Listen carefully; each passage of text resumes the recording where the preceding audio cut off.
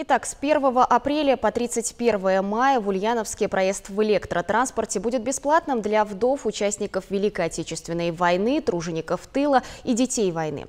Эта информация сегодня распространена администрацией города. Решение о бесплатном проезде было принято на заседании областного оргкомитета «Победа».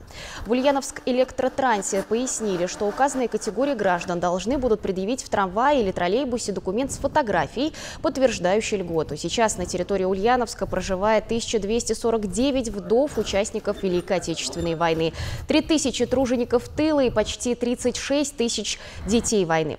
Напомню, что с 1 января бесплатный проезд в Ульяновском электротранспорте предоставляется участникам и инвалидам Великой Отечественной войны, лицам, награжденным знаком жителю блокадного Ленинграда, бывшим несовершеннолетним узникам концлагерей.